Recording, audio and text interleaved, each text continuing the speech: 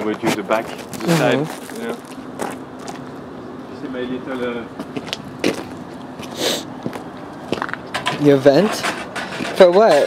For the stove? no, it's for the hot water. Oh, So little gas things like this. uh, propane? Yeah, it's propane. Yeah. Cool. And I just like, you know, plug it to that for the evacuation. Uh huh.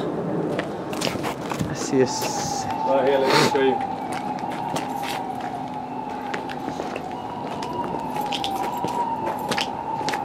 And then, you see all my treasure? Oh yeah, very nice. And you know, it's it's best to just let them sit and Yeah. not not even touch them because you see down here. That that's exactly what a centrifuge would do. You know, you spend like a thousand dollars on the centrifuge. No, it's 250. two fifty. Yeah, I'm maybe gonna get one. Yeah, the, you the should. ma- the matter but is but this is the same thing. I know, I Just know. waiting, but it ta- you know it takes like a month, Yeah. Well, this one I've been sitting for two two months. Two months. Yeah. Yeah. But uh, yeah, maybe gonna buy one. It's 250 only. Cool. I don't know. I'm, I'm thinking about it.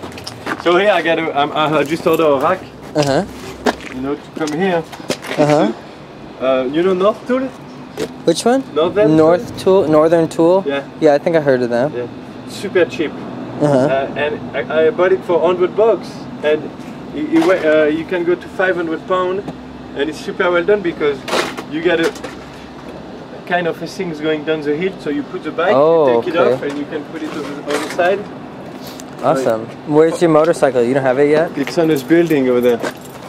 It's on Oh, the third okay. floor. Cool. My friend, he got like um, a carpentry uh, studio over there. Uh huh. So he, I, you know, Are these yours?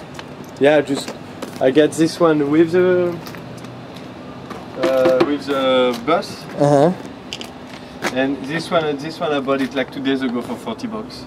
Awesome.